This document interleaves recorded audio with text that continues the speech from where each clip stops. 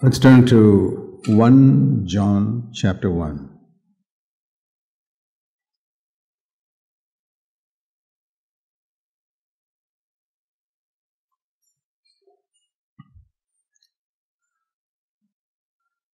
The purpose of salvation is that we might come into fellowship with our Heavenly Father and Jesus Christ. It's not to go to heaven.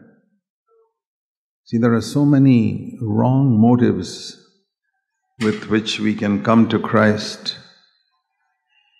And uh, if I come with a wrong motive, I can't be sure of my salvation. And I think that is the problem with many people. They have come to the Lord with looking for something else. You can come to the Lord for food, for healing, that's fine. He'll accept you, but then you, that must be something that moves on to finding deliverance from sin. And if that, if our main desire, and I want to say this straight to all of you, if your main desire in your life is not to be free from sin in your life,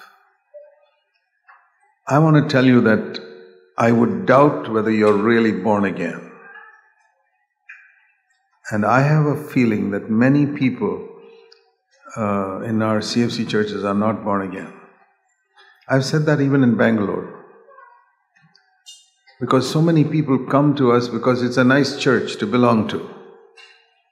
First of all, there's no collection. All rich people are very happy to come to this church because there's no offering. Nobody forces you to pay 10%. Imagine if you go to some church and you're a very rich man and the pastor asks you to pay 10%. You won't like it. You'd rather come to this church. Such people are not saved. They're just covetous, greedy people who are only trying to take advantage of Christ. And they'll be lost and their judgment will be very severe in hell. But if a person wants to be free from sin in his life, such a person can find salvation. So, you know, Jesus said he did not come to call righteous, holy people. He came to call sinners, not sinners. He came to call sinners to repentance. So the world is full of sinners, but he didn't come to call all of them. He said, I've come to call sinners to repentance, to give up their sins. So the only people Jesus came to call are those who want to be free from the sin they see in their life. So, if they don't see sin in their life, then of course there's no possibility of their being saved. See, in um, Matthew's Gospel, chapter 9.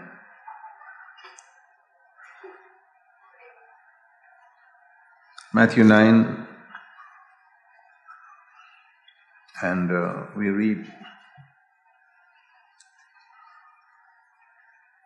in verse 12.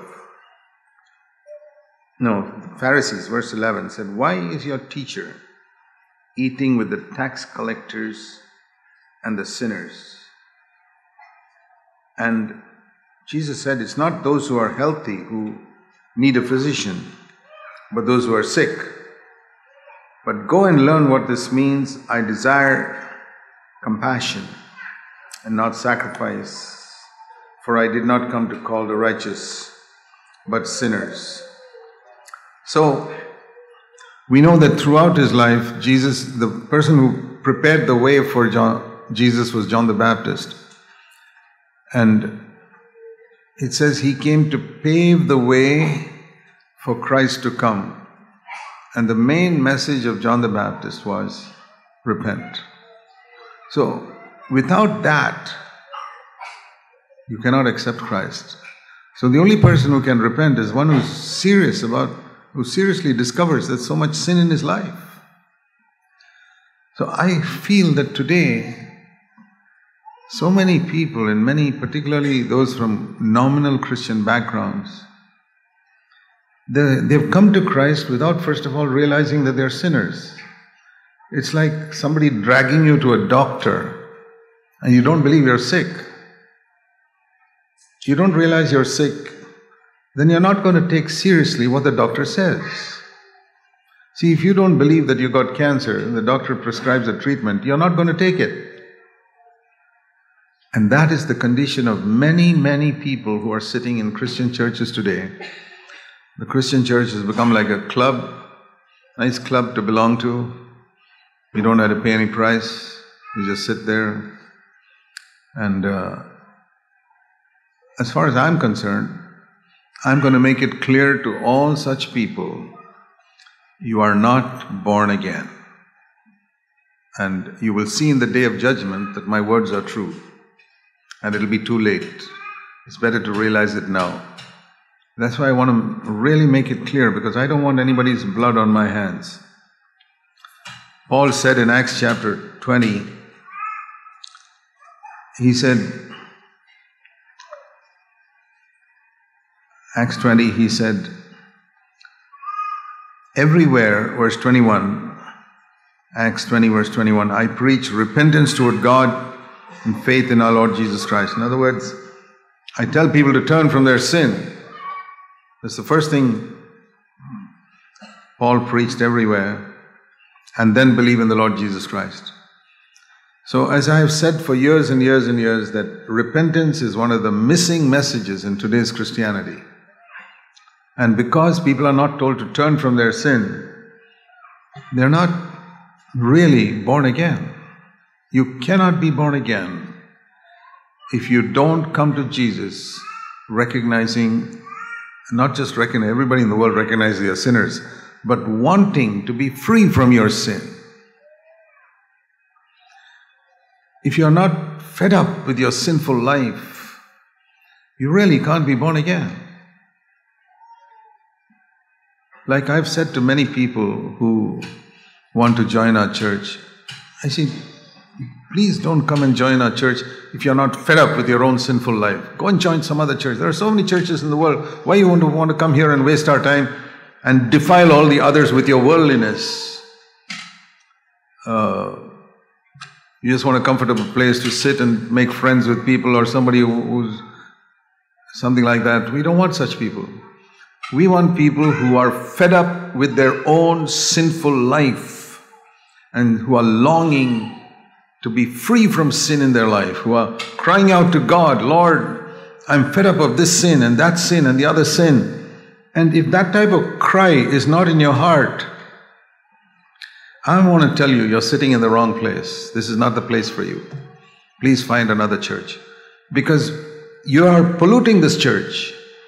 You're hindering the witness of the church with your worldliness. New people come in and you speak all your worldly stuff to them and pollute them. We don't want such people. And we're going to gradually eliminate such people from this church. Because we want people who are fed up with their sin and who are crying out to God, not only in the meeting, but at home, say, Lord, I see sin in my life. I want to be free from it. I want to be free from it. That is the mark. Those are the only people Jesus came for. So he says, I preach repentance toward God and faith toward our Lord Jesus Christ. And he says in the last part, I, I, I have proclaimed to you, verse 27, the whole purpose of God, not part of it. Therefore, verse 26, I am innocent of the blood of all men. A preacher who preaches repentance and preaches against sin and the whole purpose of God, his hands will be free from guilt. But any preacher who does not preach against sin, when people in his church go to hell, he will be guilty also. I believe that.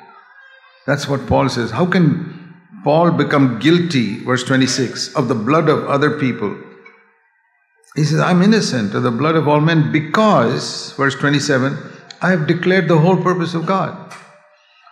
I can say that. Everywhere I've gone, I've declared the whole purpose of God. A lot of people got offended. It bothers me the least because I'm not here to please man, I'm here only to please God. And so it doesn't disturb me if some people are offended with me. They were offended with Jesus, they were offended with Paul, they were offended with every servant of God in the history of Christianity, except the men pleasers and the money lover preachers. All the others, people are offended with because they don't. Most people don't like to hear the truth about themselves. But it's only those who love the truth who can be saved. So if we, if you don't love the truth about yourself, it's very difficult to be saved. And the great danger is that when we don't love the truth and we hear the truth and it doesn't disturb us, we can sit comfortably and listen to the truth and be completely unchanged. The great danger is that God Himself will deceive you. Turn with me to what I call the most scary verse in the New Testament, Second Thessalonians chapter 2. The most scary verse in the New Testament is not that you can go to hell. No. The most scary verse in the New Testament is that God Himself will deceive you. It says in Second Thessalonians chapter 2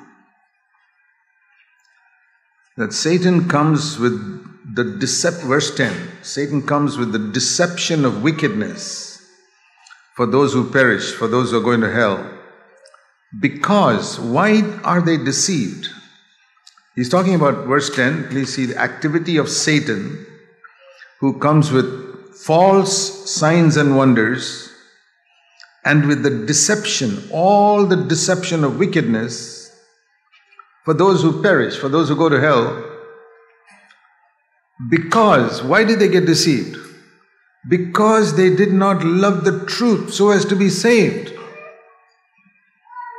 They did not love the truth that they heard to be saved from sin. And when God sees that, here is a person who's sitting in some church and coming to some meeting and does not receive the truth, does not love the truth to be saved from sin, you know what God does? See what God does. God Himself will send on them a deceiving influence so that they may believe what is false. Can you imagine God trying to deceive you? That's what it says here. If God deceives you, you will be thoroughly deceived. And deceive means you think you're saved when you're not saved. You think you're born again when you're not born again. Because not only the devil is deceiving you, God is deceiving you. There's no hope. The devil is already a deceiver. He's called the deceiver of the whole world. My only hope is that God is on my side and prevents me from being deceived. But here it says, if I don't love the truth, God also will deceive me. And when God deceives me, it says here that I will believe what is false can you imagine God who loves the truth wanting me to believe what is false? That means I will believe I'm born again when I'm not born again. That is believing what is false. And who makes me believe that? God. Why? Because I don't love the truth. I don't love the truth about myself. That's why I say this is the most scary verse in the New Testament. I never want it. And so, what is the way to escape it? Very simple. Just two things. Both are mentioned in verse 10. I must love the truth. When God speaks to my heart, I must face up to it and say, Lord, it is true. I'm guilty. And secondly, again, verse 10, I must be desiring to be saved from my sin.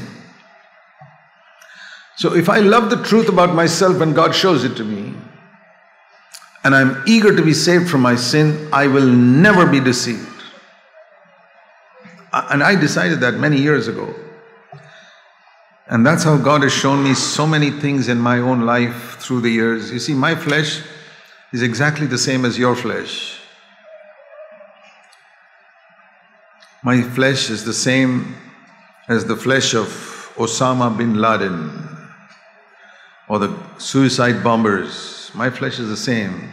If any of you think you are better than a suicide bomber, you don't have any understanding about your flesh. I'm convinced my flesh is, I came from Adam. That suicide bomber came from Adam too. He's got the same flesh as me.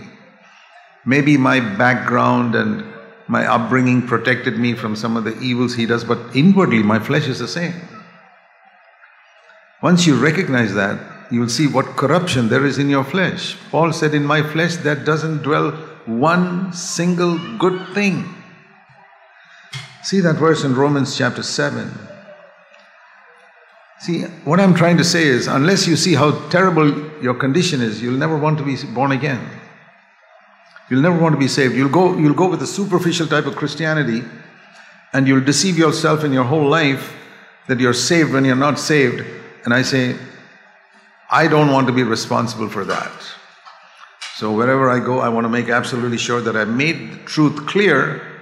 It's like a doctor giving a scan to a person saying, You got a terrible cancer and it'll kill you. After that, my responsibility is over.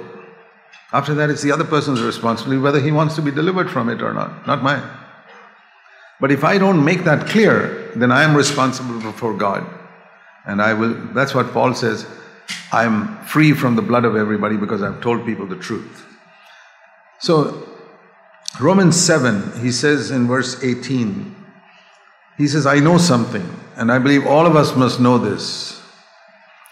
I know that nothing good dwells in me in my flesh. How many of you believe that, honestly? I'm not talking about trying to be spiritual and quoting the right words and all that. You know, a lot of people in prayer say, I'm such a wretch and all it. They don't really mean it. Because if they ever heard somebody else call them a wretch, they'd be upset. But they themselves call themselves a wretch in prayer. So, how many of you really, you, you got to face up to this verse. Can you say, I know? Not I have heard. I know. Like, as clear as, do you know you're a man? Do you know you're a woman? You don't have any doubt about it? You're a boy, you're a girl, you don't have any doubt about it? In the same way, you know that in your flesh there is not one single good thing. I'm just quoting scripture. The Apostle Paul said, I know that is in my flesh there is nothing good. In the flesh of that terrorist, suicide bomber, there's nothing good. Do you realize that you are just the same as that person in your flesh? No difference. Maybe your background, upbringing, religion kept you from certain evil things, so you look better than that person, but you look inside, it's just the same. You take a scan of that terrorist's heart and a scan of your heart, it's 100% the same. I believe it. I have seen clearly in my flesh dwells no good thing. And because I've seen that, I have longed for a complete salvation from sin in my life. And that's why God's given it to me progressively. But if you don't see it, you will not desire it. Can you get a man on the operating table who doesn't believe he's got cancer? No. You'll have to drag him there and he won't come. He won't sign the certificate that's required before surgery because I, don't believe I got, I don't believe I'm that bad. That guy's got cancer, but not me. That terrorist has got it, but not me. Well, then, if I have experienced a salvation, it's because I believe my flesh is the same as any terrorist or suicide bomber or anybody. And if you don't believe that, my brother, sister, let me tell you the truth.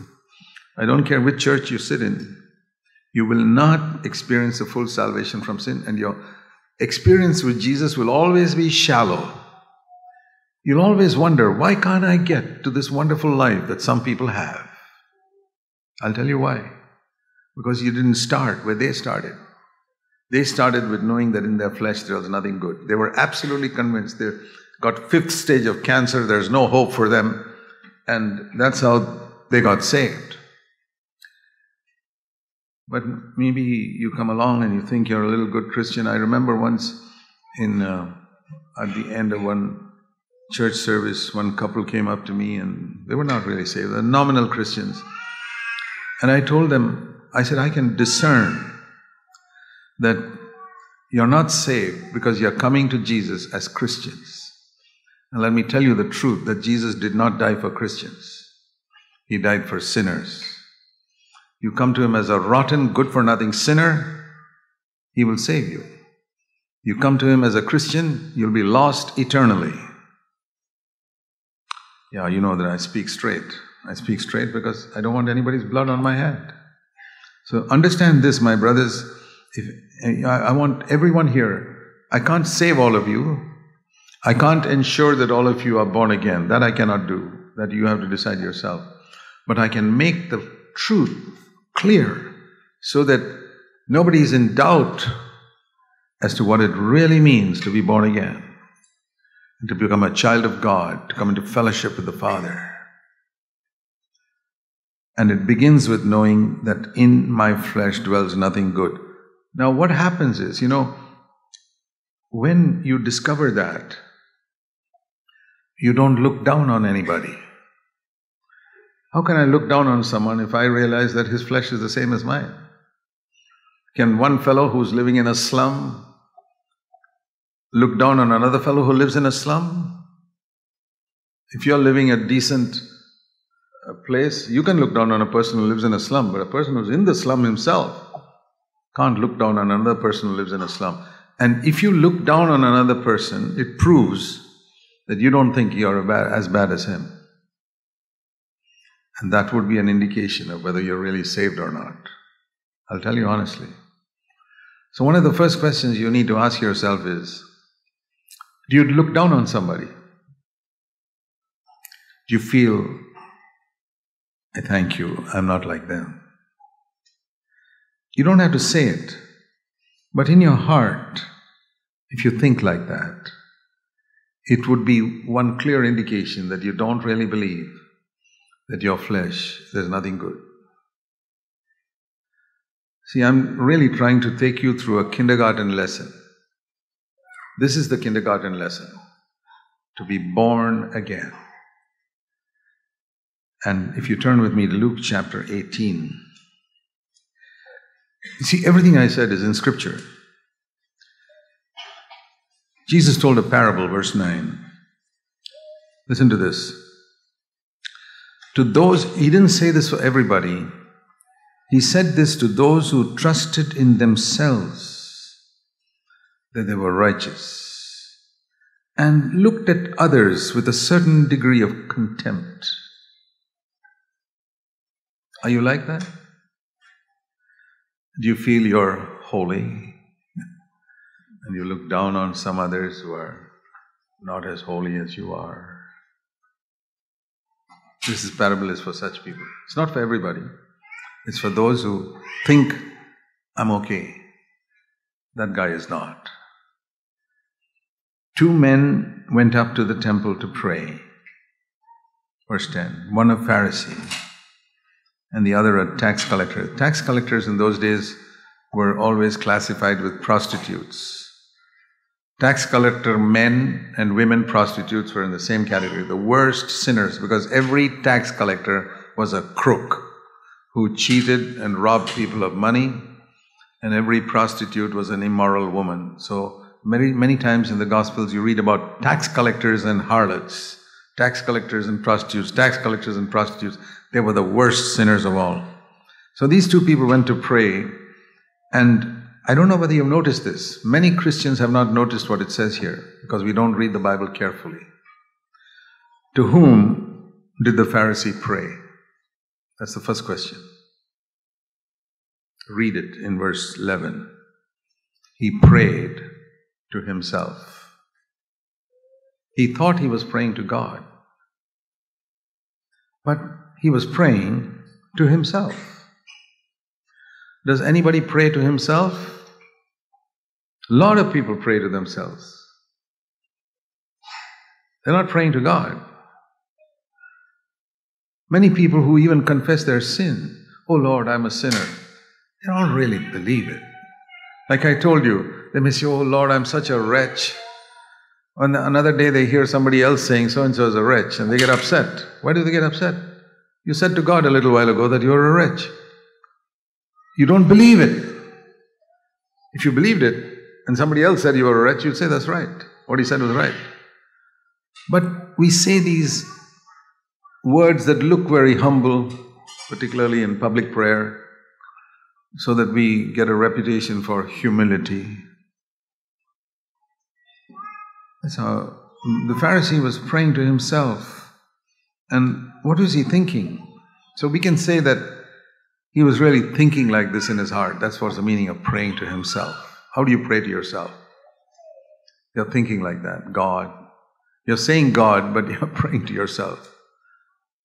I think a lot of people who pray in public don't really pray to God. I'll tell you honestly.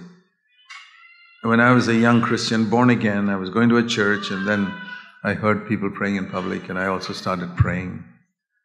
And almost every time I was praying to myself. Because when I prayed, I wasn't conscious of Jesus in that room. I was conscious that all these people are listening to my prayer. So I must pray in an impressive way. They mustn't think I'm useless. I must pray in a way that'll impress them.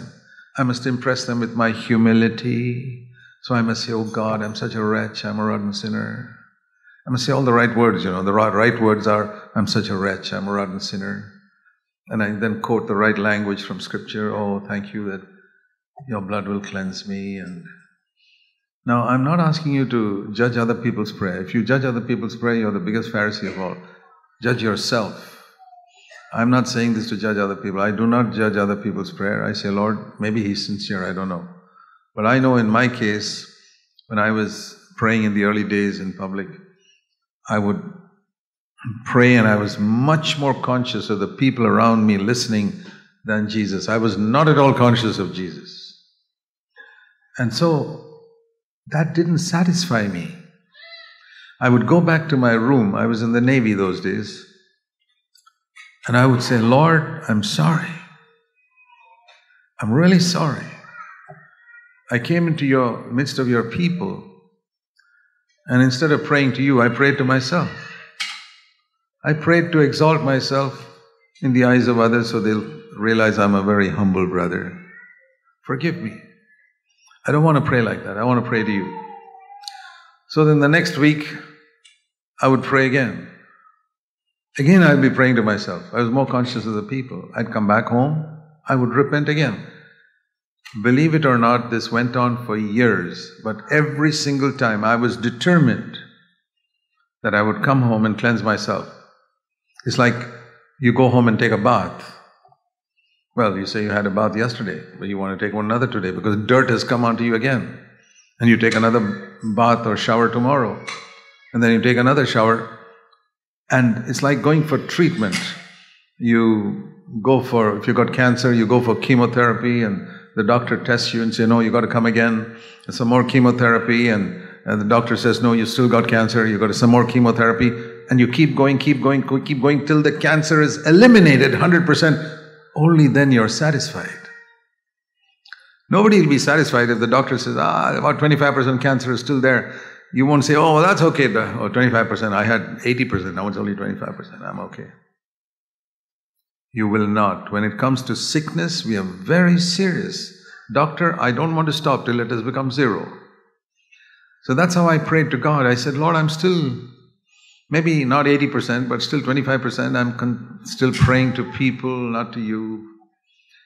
And over a period of time, over a period of time, because I kept on judging myself, I came to the place where when I prayed in public, it didn't matter if nobody was in the room. I prayed to Jesus. Not only prayed, but when I sang a song, I would sing it to Jesus. Do you, are you conscious of the words that you sing? Do you know that every song we sing is a prayer? That's another area where I didn't take seriously. I used to sing a song, you know, particularly if it's a very familiar song, which I knew the tune, I knew the words by heart. And they would sing it, and I would sing, I could shut my eyes and sing it. And I would sing and sing and sing and sing, and realize that the, you know, maybe In the olden days, we never had this projection and all, we had songbooks. So I, we would be singing song number something. And we would sing and sing and sing, and then the song is over, they go to the next hymn. And suddenly I realize, hey, I wasn't even paying attention when I sang that last song. So, what, what, what I would do, when all the others were singing the next song, I would turn back on the hymn book to the old song. And I'd say, I'm sorry, Lord, I didn't mean these words. I did not mean these words. Please forgive me. And while the others were singing the other song, I would read the words that I had already sung. And I say, Lord, I want to mean it now. And I would go through that whole song and say, Lord, this time I'm meaning it. I'm not singing it, but I'm saying it to you in my heart. This is, I need thee every hour. Every hour I need thee. Oh, bless me now, my Savior. Whatever it was. And then I really meant it. So that was the time I really sang that song. The rest was like a concert, everybody singing, you join in. And as I did that a number of times, it didn't just happen once, it happened many times.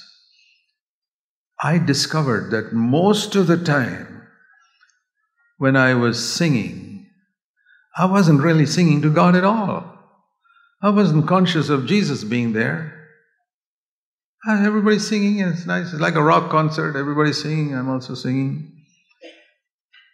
Most of the song leaders also, they don't have a clue what they're singing. I tell you, in many, many churches, the song leaders, they, they themselves are not serious about what they're singing. They don't think of the words, it's just the tune, and some shake their hips. And it's the spirit of reverence that Jesus is here, and I have to I'm saying something to him is not there. And you know what the root cause of this is? Either some people are not even born again, or they've taken their relationship with God so casually. That, I mean, if, for example, if the ruler of this country was sitting right here, I think all of us would be very conscious Oh, the ruler of this country is here. But Jesus can be here and we're not even conscious of it. But we say we are born again. Well, those people in the other churches, dead churches, they also are not conscious of Jesus. And if we are in the same category, how do we say we are born again? How do we say we are different? How do we say we have life? We're in the same condition as those people. These are very, very serious issues, brothers and sisters. I'm only trying to help you to be delivered from deception. Love the truth, then God will not deceive you. I love the truth. And the truth was, I was praying to people, not to God. And so God saved me from deception. I love the truth. I said, Lord, I didn't sing this to you. I just sang it like a nice tune. I love the truth. And I said it, Lord, I'm sorry. And the Lord saved me from that deception.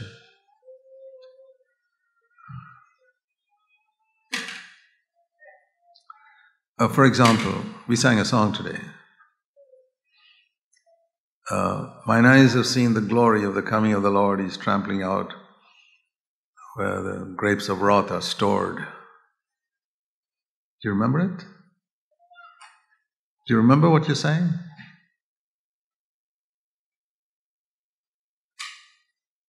What does it mean? I've seen the light in a number of camps. Which camps? It's a song, nice tune. I'm amazed at the amount of self deception that goes on in singing. When in many churches they try to improve the quality of the singing, saying, Let's sing in tune. I'm saying let's mean what we sing, even if we don't sing in tune. If you mean what you sing, even if you don't sing in tune, God will hear you. We're not, uh, we're not training choirs here. We're training godly people. I don't care. I never, it never bothers me if people don't sing in tune. I'll tell you honestly. I mean, I'm not so particular if the tune is right or not. It's good to sing in tune, of course, so that all can sing together. Very, very important to mean what we say. Jesus once said in the Sermon on the Mount, He said, Your yes must be yes, your no must be no. You know, there are songs like, All to Jesus I surrender. I wonder how many people can really sing it. But everybody will sing it. Or, uh, Take my life and let it be consecrated, Lord, to thee. That's one of the toughest songs to sing. Because one line in it says, Take my silver and my gold, not one mite will I withhold. I almost feel like smiling when I hear everybody singing that song. I know that none of them mean it. It's a nice song. I can't change the words. I'll tell you, I can't change the words, I just keep quiet. If I can't mean something, I keep quiet. Sometimes when I come across a line in a song and I can't sing it, I don't change the words, I just keep quiet or saying it softly. Guide me, O thou great Jehovah. I never sing it because I have never in my life called God Jehovah. You say, why? Isn't that his name? My four sons have never called me Mr. Poonen. Why? Isn't that my name? Why don't they come up to me and say, Mr. Poonen, can I talk to you? You know what they call me? Dad. You know what I call my Father in heaven? Not Jehovah. I've never called him Jehovah. He's my dad. I call him dad. Jesus taught me to call him Heavenly Father.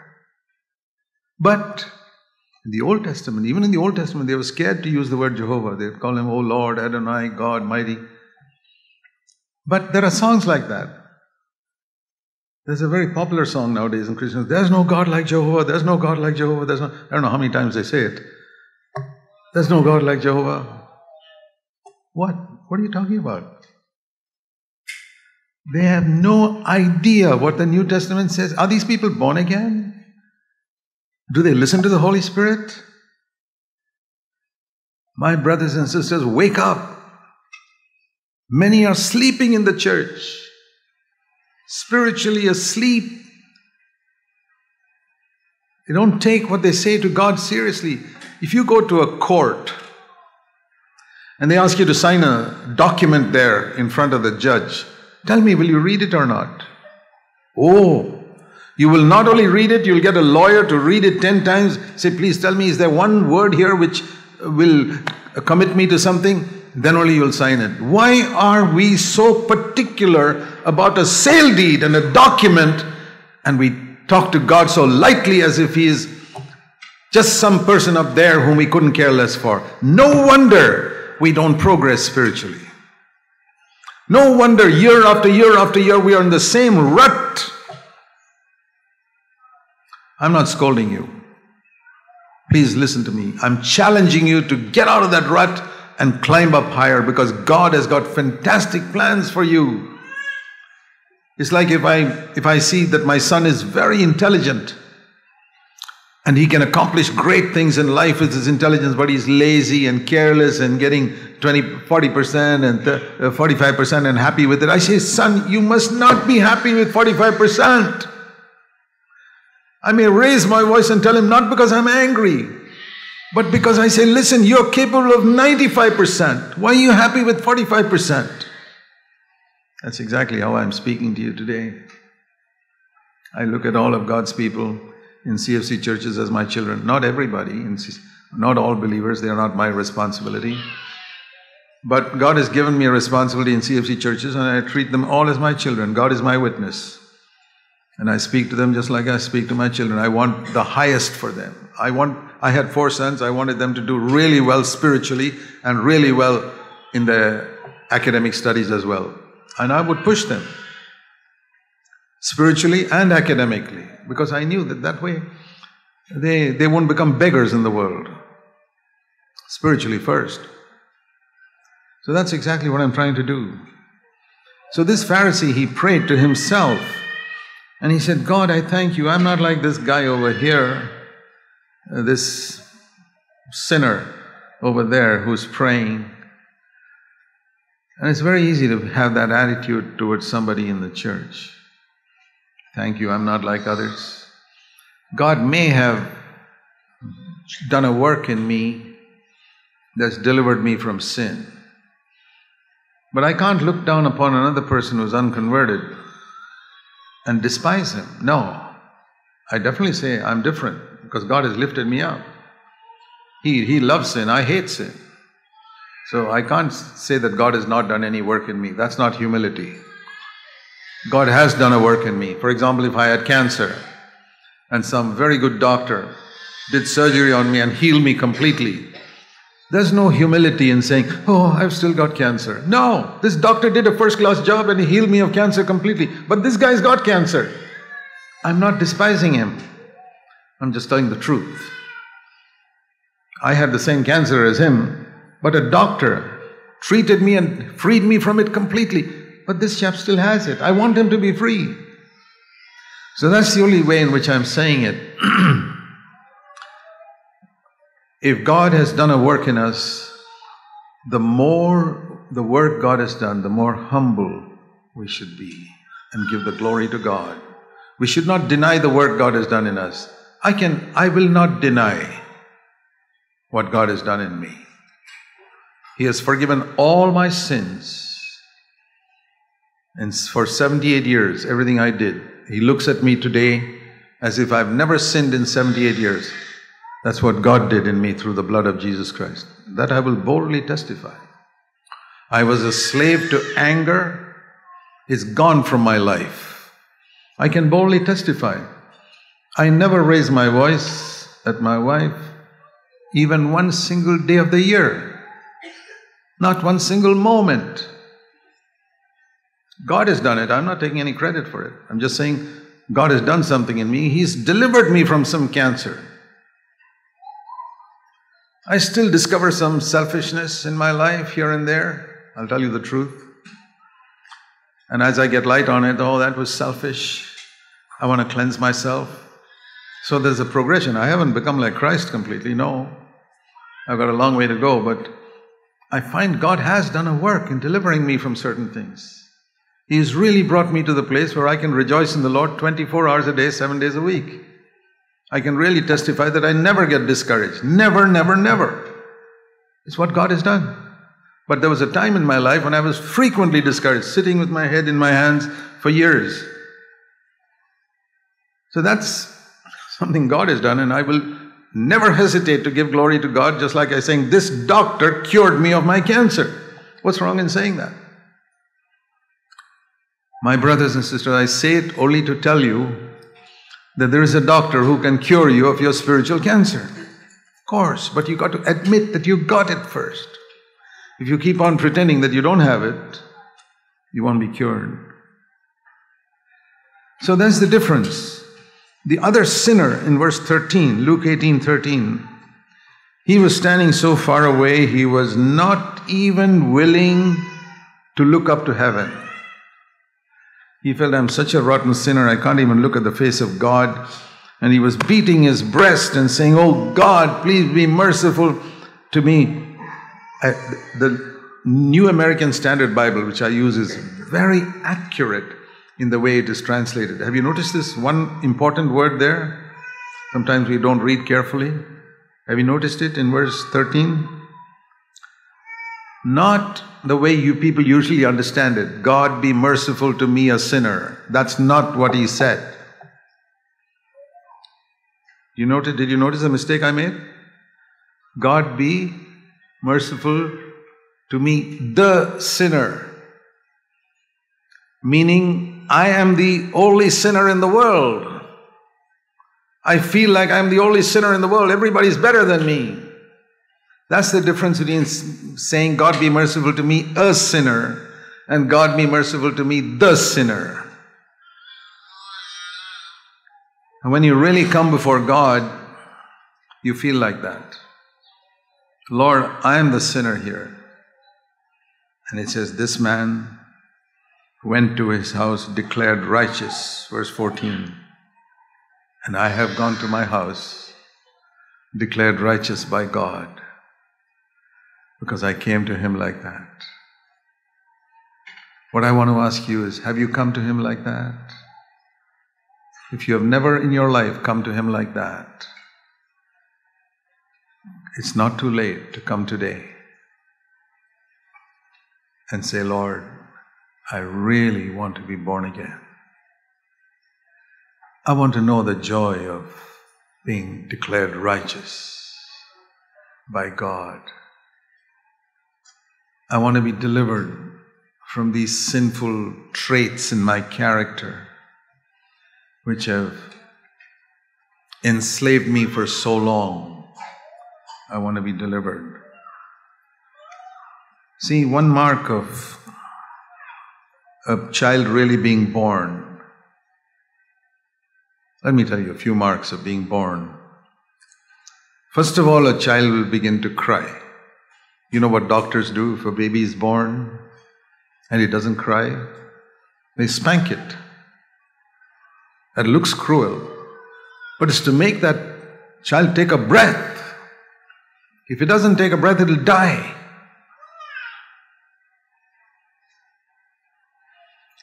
I know at, at least a couple of young ladies in CFC Bangalore today who are alive today because my wife happened to be in the delivery room when they were born as babies and they were not breathing. They were blue. And my wife pumped and pumped, I don't know what, oxygen or whatever it is, till they began to breathe. They are grown up young ladies today. It's very important to breathe as soon as you're born. It's one mark of a healthy baby. And one mark of a born again person is you want to pray to God. That's breathing is prayer. You immediately discover you're a father and you want to talk to Him. A person who doesn't talk to God is like a baby that doesn't breathe. And you know, babies can be born and they can be breathing and they are healthy, and sometimes one month later the baby dies.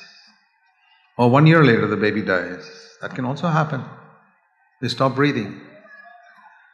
I've seen people like that, born again, really born again. They really turned to the Lord and they started praying, and then you see these so same people two, three years later, they've stopped praying. They don't pray anymore. They stop breathing. What happened? I thought you were a healthy baby. Yeah, you were a healthy baby, but you know, there are babies who are born healthy, three years later they're dead. So this person was really born again, but died spiritually. So that's one mark of being born again. You breathe. Another mark of being born again is of a birth is what we read in 1 Peter chapter 2 is it says in verse 2 like newborn babes 1 Peter 2 verse 2 long for the pure milk of the word of God. If a baby does not cry for milk again something's wrong. Not just breathing. But a baby will you know, when a little baby cries in a house, even a dumb man like me can know it's crying for milk. Mother knows immediately. What does a baby cry for? It's not crying for anything else, it's crying for milk. A newborn baby, if it cries, it's crying for milk. And it'll keep on crying till it gets it. You try to pat it down and say, Stop crying, stop crying, it will not stop crying. That's the way you know a baby is healthy It's crying for milk. I'm thirsty, I'm thirsty, give me something. I know it happened to me when I was born again 58 years ago. I suddenly began to have a love for the Bible, which I never had before. I was born in a Christian family, go to church, Sunday school. I never loved to read the Bible. I'd read it, namesake, okay, I've got to read something, close it, and get on with other things which are more important. But I didn't have a cry in my heart for the milk of the Word of God, like newborn babes long for the milk. So if you find a baby, it, it was breathing okay when it was born, but you find after one or two days, it's not crying for milk, it's just lying quietly, happy, in the cradle, whole 24 hours, never crying for any milk. I tell you, even if you're a dumb father, you'll be concerned. Why is this baby not crying for milk? Two days gone by, it never cried for milk. The milk of the Word of God. That's another mark that you're really born again. You want to read the Bible, you want to hear God speak to you. In the same way that a baby cries for milk, why does a baby cry for milk? Just to ease its conscience? Ah, babies are supposed to cry for milk. Okay, ah, ah, ah, give me some milk. Okay, done. To read the Word of God like that? I was told in church that I must read the Bible every day. Okay, I've got to read the Bible. That's not crying. It is just a ritual. Now, why am I saying that? Because that's how many Christians read the Bible. They're taught, you must cry for milk, okay? You're born again, you must cry for milk. Okay, here. Well, how much should I cry? A little bit of milk at least. Okay, here. That's not a real new birth. I want to tell you the truth. I believe a lot of people who think they are born again are not born again. They don't breathe, they don't cry for milk. How do you know they're born again?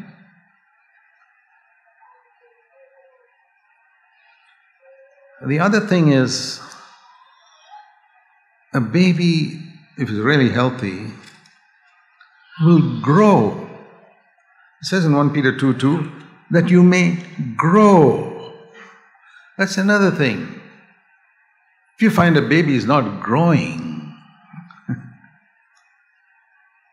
it's the same size after one year, same four and a half pounds, one and a half kilos born one and a half kilos, now also one and a half kilos. Something is wrong. If there's no growth, evaluate yourself. Many of you have babies, children. Many of you are fathers and mothers. Would you have been concerned if you saw your children never growing, even after one year? Would you be concerned? You'd be terribly concerned. Are you just as concerned when you don't see yourself growing spiritually? You feel there's something wrong, there's this death, the spiritual death that has come in? Definitely, if a, you know, sometimes in the womb, a baby can die in the womb. And the doctor says it's not growing, something's wrong, it's dead. All living things grow, only dead things don't grow. A rock will be the same size for 5,000 years. A plant, in one month, it'll be big. Growth is always the mark of life. If you're born again, you will grow. I don't want to make a big list. I told you, a, baby, a healthy baby will cry, it'll want milk, and it'll grow. Just think of those three areas, it's enough. Why am I saying this? Because the Bible uses such examples of. Uh, I showed you here. It longs for milk, 1 Peter 2 2, and it grows. Let me show you the verse where it says, the baby cries, Romans chapter 8. Romans chapter 8 and verse 15. Romans 8:15 where it says you have not received a spirit of slavery leading to fear again but you have received a spirit of adoption as sons which we cry out father. That's what happens when you're born again. A cry comes from your heart daddy. As soon as you're born again boy I got a daddy in heaven. It's a wonderful thing. I was a very insecure person when I was young.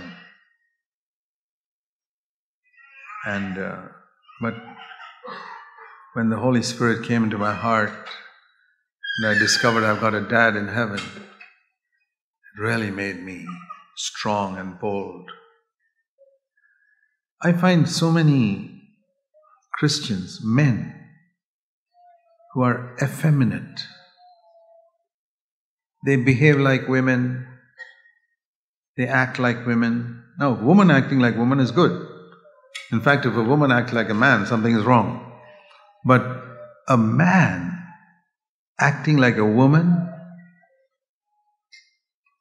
he gets married and he's still like a woman, he's not the head of his house, he's scared of his wife. Do you know the Bible speaks about such people?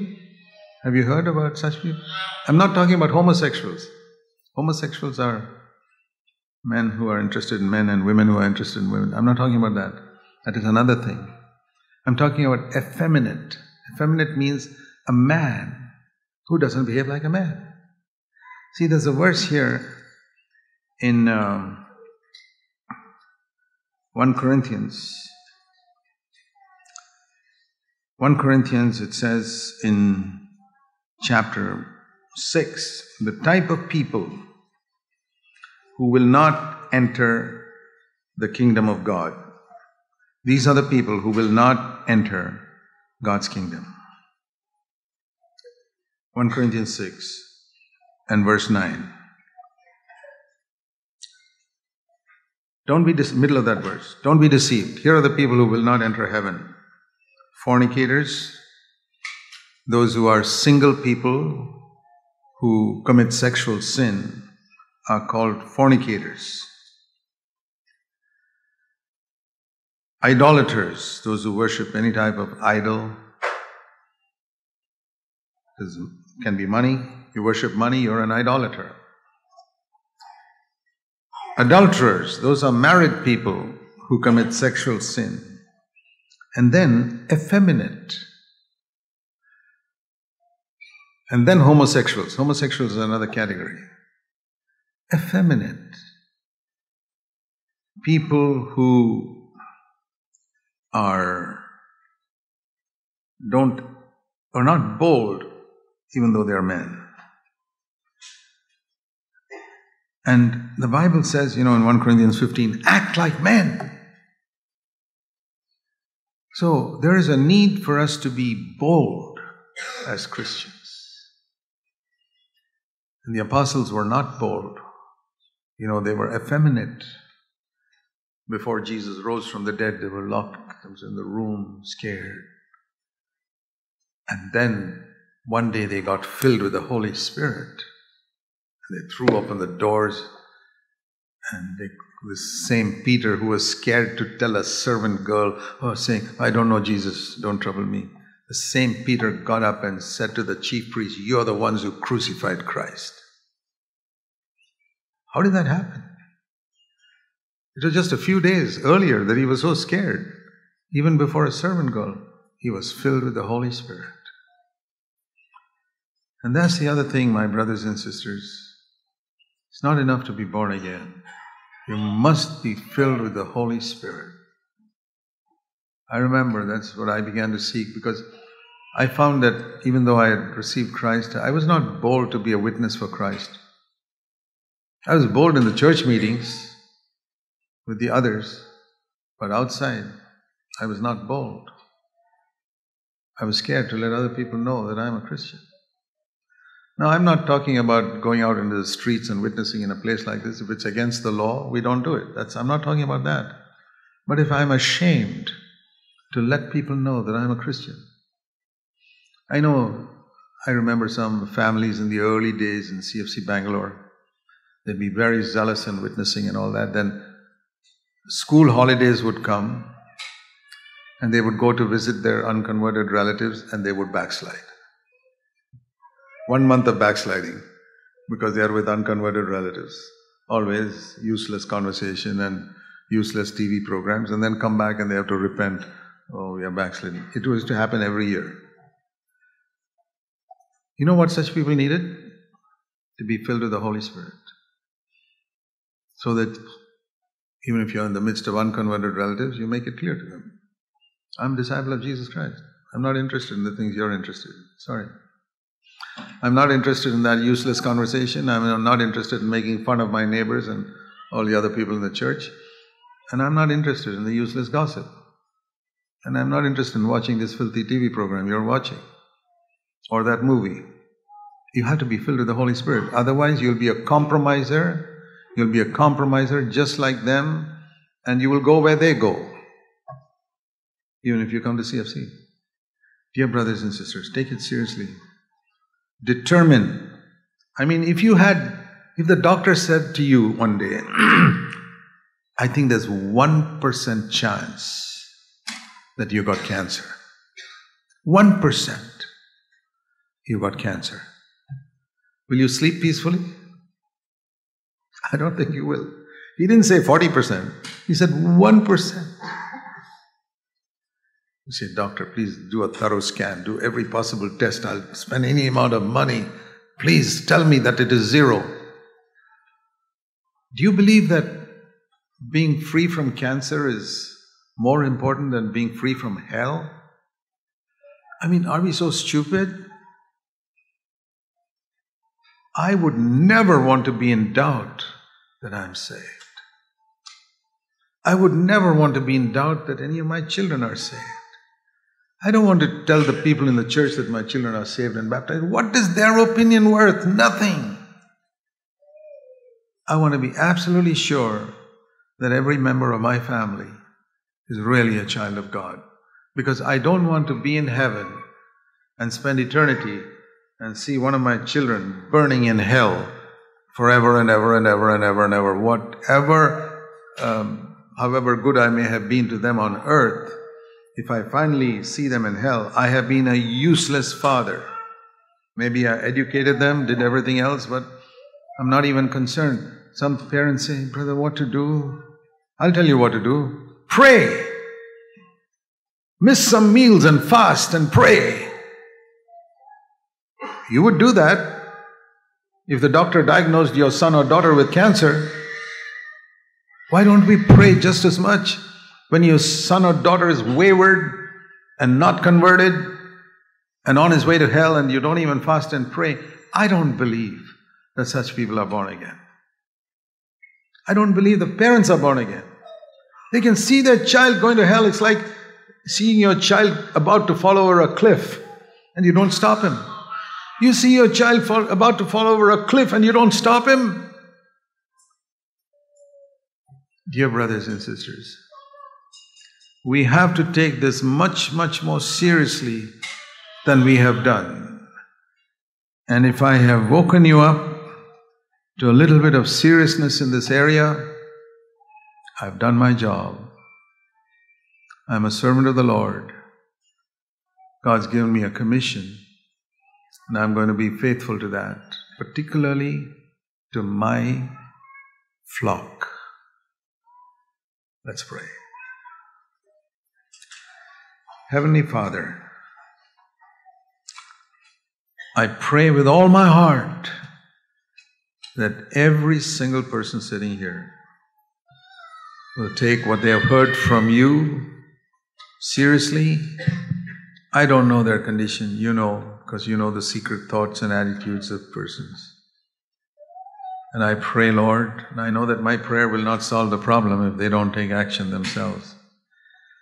But I really want everybody here to be saved. I don't want to see any of these people whom I meet here to be burning in hell one day.